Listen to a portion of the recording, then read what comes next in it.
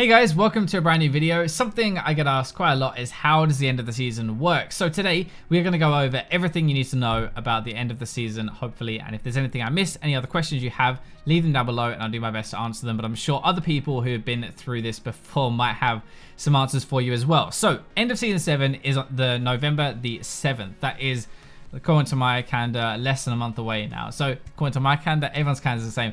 Less than a month away, and then after that, we're going to go into Season 8 pre-season for two months, just over two months, and then we actually start Season 8 on January the 16th with all of the new changes and everything like that, and Ranked is going to properly reset.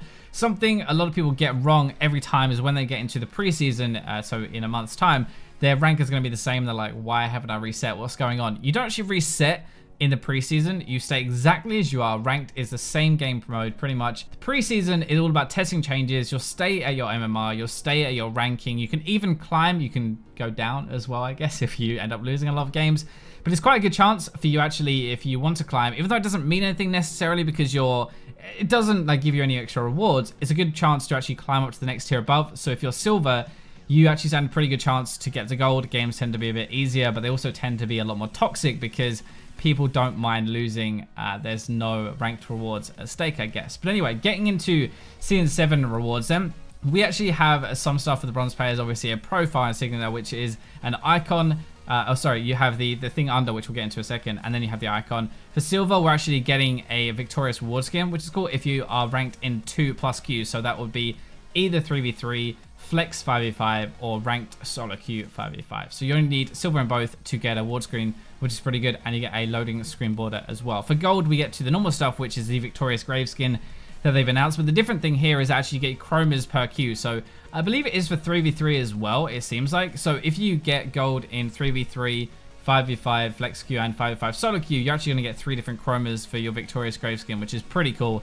But that is one of the uh, main benefits, I guess, of getting to gold is you get this skin that a lot of other people won't have. You have to remember that actually, I think it's like top 15 20%, right? Get to uh, gold, I believe.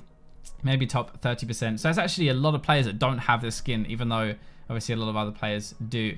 So we're going to have this now under our uh, name. We have this border, which is going to be different for every single uh, league. Like if you're gold, silver, bronze, plat, or diamond, it's going to be a little bit different. So you have this on the profile that be visible for everybody else. And then obviously we have our icon and borders and stuff. The borders seem to be saying the same as you are already. The icons are very slightly different, but if I show you very quickly, I believe it's this one here. Please work, thank you.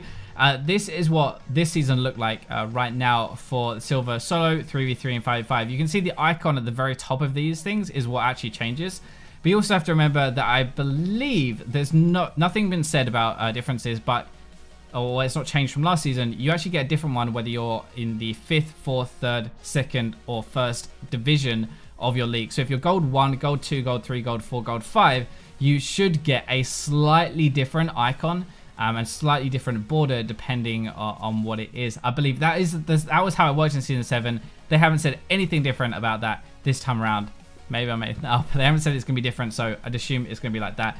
Obviously, you can see there actually are, is a little bit different, the design, but that is the kind of color scheme that you're going to have for the icons as well for every different league. And then finally, we have the Victorious Ward skin, which is when if you get to uh, silver in more than one ranked queue, you're going to be getting this as well. And finally, for Honor, if you are on a level 3, 4, or 5, you're going to be getting a Ward skin.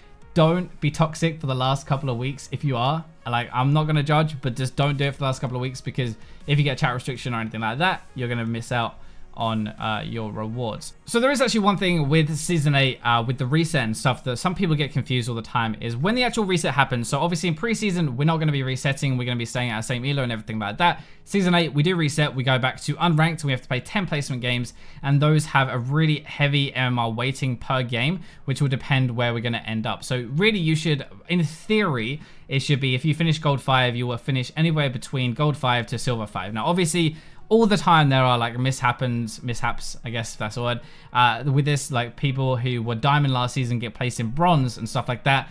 Hopefully it doesn't happen this season, but it probably will. In general, it's one league below is what most people get. So if you, the only exception would be for diamond and master tier and challenger and stuff. The maximum you can get is uh, plat one. So if you are diamond one, for example, or diamond five, the maximum you get is plat one. And most diamond players will be placed between plat three and plat one, depending on their placement games. The only other thing, I guess, is some people try to choose this by duoing with people leagues below. So, for example, a gold player might duo with a silver player because they think they're going to get easier games and that will be uh, a lot easier to climb and win. And they're obviously going to get 10 placement wins and they'll get really high up and stuff. Doesn't really work like that. Most people, I, right, I've never come out and said it deliberately, but the way it should work is your MMR depends on the people in the game. So for example, you will likely play, if you're gold, you will likely play with silver, gold, and platinum players during your placements just because of how, like, if a plat player is on a losing streak, they'll come down to you. Silver, win streak, they'll come up to you as well, and you'll have to have the gold players. So you're normally going to have a league below and league above in your games. You could even have bronze and diamond maybe. But the thing is, like, if you get placed in the one above, so if you're a gold player, for example, and you're playing with plat players, your MMR gain for that win would be a lot higher than if you're playing with silver players. So actually, like, your placement games can depend on the opponents and the teams you get, which seems kind of unfair, but it's just the way it is. If you get placed with loads of silver players as a gold one, you're probably going to have a lower placement than normal. If you get placed into higher ranked games, like with the platinum players and stuff, and you end up winning those games, you'll get more MMR and you'll have a higher chance of actually like placing a little bit higher uh, after your placement. So if you're going to duo with somebody who is lower ranked than you last season, uh, your MMR gain per game, per win and stuff is probably going to be lower, so you probably actually don't want to do that.